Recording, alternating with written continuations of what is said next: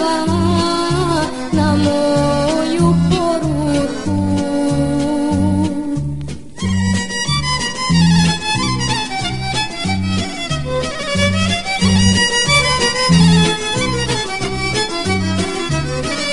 Siročići tužna pisma pišu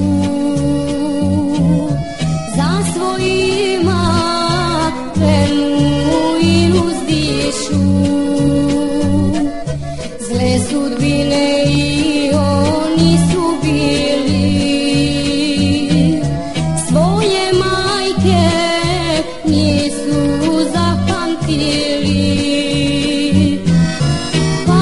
težnjom pitaju me mili da su moji meni se vratili.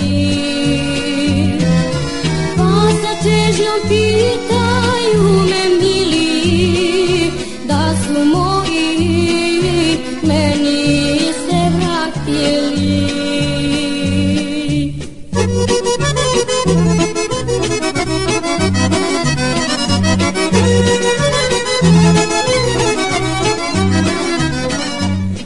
curat cu nemanii pomelat.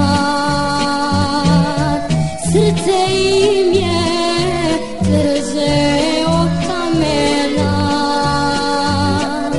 Uiti pișunii